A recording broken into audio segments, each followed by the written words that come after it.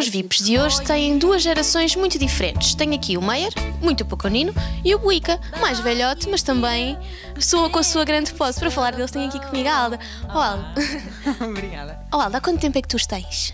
Olha, o Buica tem há 5 anos. Já tem 5 anos. O Meyer, eu julgo que nem um mês tenho aqui em casa. Para aí umas 3 semaninhas e meia. Ele tem uma história muito engraçada porque tu encontraste-o na rua. Eu, eu vinha a chegar a casa com o meu namorado e à porta comecei a ouvir mear um choro aterrador. e, e entretanto era um gato aflitíssimo a mear, mas percebi-se perfeitamente que era um bebê e também consegui-se perceber que estava dentro de um carro e não por baixo.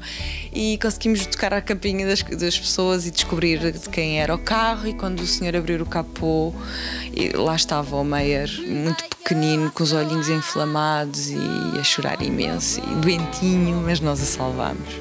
Olha, e como é que foi a, a, chegada dele? Porque tu já tinhas um gatinho. Pois, o Buica não achou muita graça. Esteve uh, dois dias sem, sem lhe ligar nenhuma, sem o cheirar, bufava-lhe. uh, bufava para nós. Mesmo um, assanhava-se e então nem sequer teve contacto.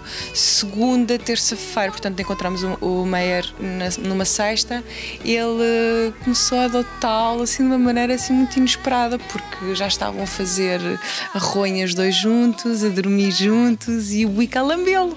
Dar-lhe a banhoca e oh, mas eu não dei por isto, eu não dei, não dei conta disto. E, e pronto, ainda bem, ainda bem. É uma companhia para o Wicca também.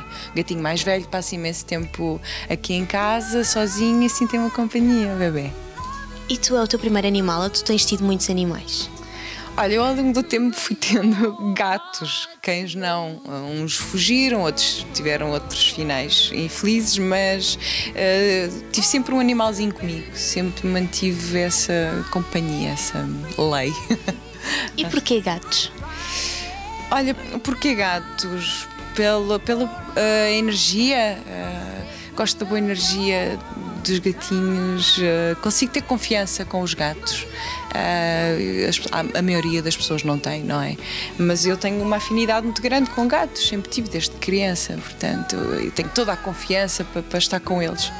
Por isso não me custa nada adotar um animalzinho um, ou, ou pegar num gatinho de outra pessoa. Tenho sempre respeito sempre atenção, vamos lá ver se ele me cheira primeiro, se se adapta primeiro e depois uh, senta no meu colo. Mas tu tens uma vida muito ocupada e se calhar no teu caso um cão seria complicado de gerir. O gato é muito mais independente, também é, também é por aí. Também é, olha, eu gostaria imenso, queria tanto ter um cão, mas vivo, vivo num, num apartamento, ok. Gostava de dar um, um lar um pouco mais agradável para um cão, para esticar as patinhas e exercitar o corpo num quintal, ter um terreno, mas claro, que um apartamento não impede ninguém de, de adotar um animal de, de grande porte, de, de, pequeno, acho que desde que seja adotado e que, que, tenha uma boa família, que seja bem cuidado, que vá à rua às vezes, às vezes necessárias acho que não impede, não impede. A, a questão de, de, estar ocupada e ter o, o, gatinho em casa porque ele é independente e porque vai comer e tem a casinha de banho próprio, portanto é mais fácil, sim, é mais fácil. Pronto, eu confesso. Olha, e tu já tiveste alguma peripécia? Se já tive alguma peripécia? Ah, olha, há pouco tempo, no dia dos meus anos, uh, com tanta gente a chegar aqui a casa, o meu gato mais velho, o Buica, assustou-se, caiu da varanda e esteve dois dias. É sempre, sempre histórias muito dramáticas. E esteve dois dias desaparecido, portanto, é o meu companheiro de há 5 anos e de repente deixei de ver o meu gato. Grande prenda de anos. Grande prenda de anos mesmo. Eu tentei por tudo estar, manter-me forte, firme para as pessoas que estavam cá em casa e que, que, que, com muito carinho, a minha família esteve aqui comigo.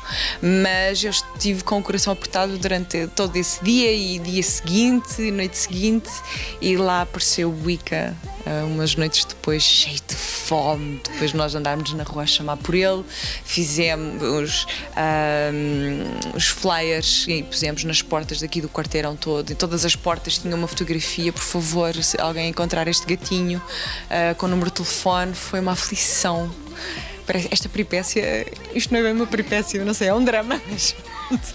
Ah, fiz de tudo para ter o meu gatinho de volta e continuo a receber chamadas de pessoas que eu pensava que não, que as pessoas não ligassem, eh, olharem para um gatinho e fazer um telefonema, dá muito trabalho, mas não, continuo a receber telefonemas de pessoas a dizer: Olha, encontrei um gatinho com estas características, será que é o, o seu gato? É a buica? É a sua gata? E eu, pois, mas é.